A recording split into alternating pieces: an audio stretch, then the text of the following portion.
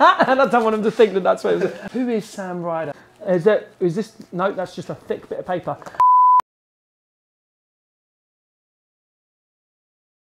Hey, how's it going? I'm Sam Ryder, and we're in gorgeous Liverpool in the legendary Cavern Club venue. Uh, my first time playing here, and I am absolutely stoked. We're going to play the Cavern Asks. You ready? No, nor am I. Let's go. Um, who is Sam Ryder? Who is Sam Ryder? Who is Sam Ryder? That is a, a philosophical question, and um, I would say a, a, an overexcited, enthusiastic, optimistic golden retriever. What was the inspiration for your new album? Uh, the retention of faith and hope. Um, all I can speak of in my experience in like trying to create a career of sharing my own music is that you get absolutely peppered with failure along the way. Sometimes for years, um, sometimes for a short amount of time. In my experience, it was a long time, and um, you needed hope and faith. And I've got friends that are doing the same thing and they're holding on to hope and faith and they're incredibly talented and uh, that's the inspiration for this album to speak to those people on that journey because um, I know what it's like. What's your favourite thing to do when you're not touring?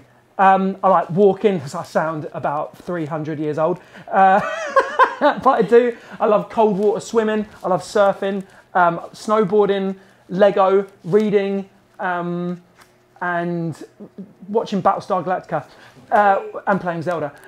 What artist would be in your perfect wedding band? Iron Maiden. Uh, can you remember the first song you performed live? Uh, it was uh, Reach for the Stars, S Club 7. But the next one that I did was uh, I Believe in a Thing Called Love, The Darkness. So, I mean, they're actually both bangers and I'm not ashamed of either. Uh, what Beatle would you take out surfing? That's a good question. Um, Macca because I reckon he's flexible. He looks like a flexible bloke. Um, I don't know why I said that. Have you seen this, Paul? And uh, I'm not weird. what was one gig you wished you could have been at? Uh, Queen Live Aid, easy. What item can't you be without? Uh, shampoo and conditioner.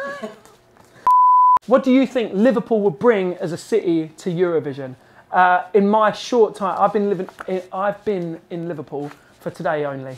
And what I've noticed is there's a certain warmness in the hearts of people here. It's in the welcome, it's in uh, just the, the connection and the conversation. And um, that is crucial because that's what we need to bring to Eurovision uh, next year because we are hosting a party for people that cannot host it at their house. And I'm so so thrilled for everyone here and the UK as a whole that we get that opportunity and we get to rise to that occasion.